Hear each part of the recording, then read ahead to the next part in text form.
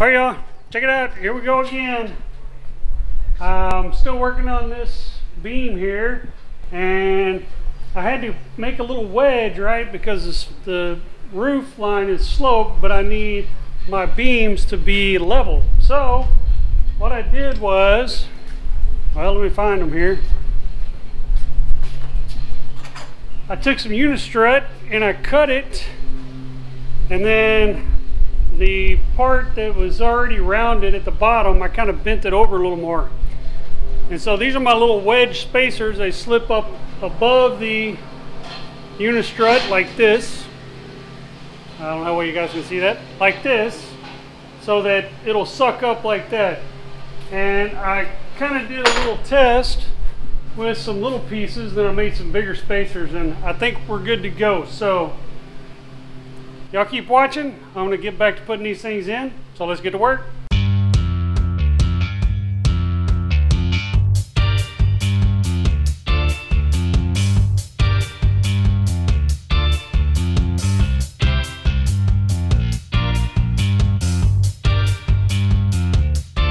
Okay, y'all, check it out. Here we go. So we got the unistrut, channel strut, super strut, whatever you want to call it in. I got the strut in, and I got it leveled up this way.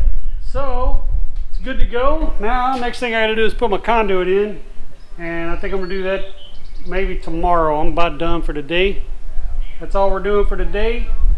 Uh, I didn't get to use the little wedge idea that I had. Didn't really work out too well, but Nana had the idea. She called it the just a girl plan, and that was to stack up some washers. So what I did instead of stacking up washers is I took the uh, Super Mag unistrut washers or super strut washers, square washers. I turn them on the side and then screw them in at whatever height I need to get that strut level. So it's all leveled up now, nice and tight. Looks good. That's all we're doing for today. We'll see you guys later. Thanks for watching. Well, good morning, y'all. Here we go again. Get back at it. Hopefully, I'm going to get this done today. We'll see whether we get it done or not. So we're going to get back to work. Keep watching.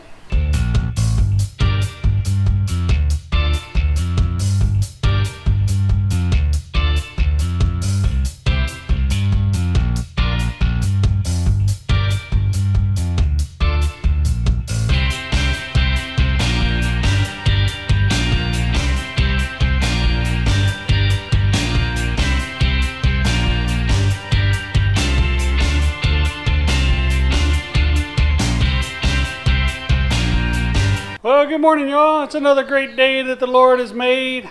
I will rejoice and be glad in it. Today, we're going to do some more electrical. Imagine that, right? So, probably this week, hopefully, I'll finish all the electrical. We'll see how much time I get to work. But we're going to keep trucking, right? So, we finished up this circuit, or this portion of this circuit, I guess I should say, because these two lights are tied to the other portion, other portion, the other lights on the lean-to on the other side of the building, which would be back behind the camper or I guess in front of the camper because it's that's the front of the property. So along that side over there is the lean-to. So we're going to move our stuff around there. I'm going to start working over there and hopefully we'll get that done this week. We'll see how much time I get to work on it. All right? Y'all keep watching. Let's get back to work.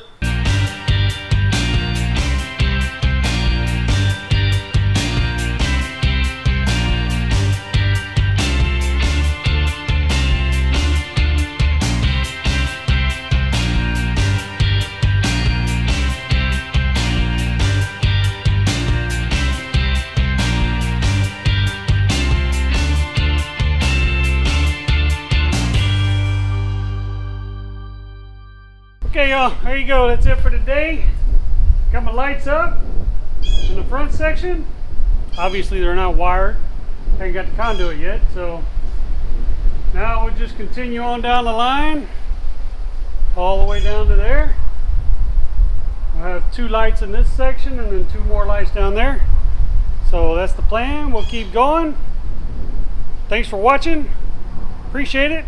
Hope you enjoyed the video. If you enjoyed it, give us a thumbs up. If you didn't enjoy it, well, you can give us a thumbs down. That's okay. We understand not every video is for every viewer. And we're okay with that. But either way, leave us some comments. Good comments, bad comments, and different comments. Not foul comments, though. This is a family channel. We'll have to throw those things out. Appreciate it. Check us out on social media at Living Cooper on Pinterest, Twitter, and Instagram, as well as check out our blog over livingcooper.com. And lastly, and probably most importantly, is please subscribe, hit that notification bell so you're notified next time we upload, and check out our other videos. We got more property vlog videos, we got how-to videos, we got product reviews. Check those out. See you guys next time. Thanks for watching.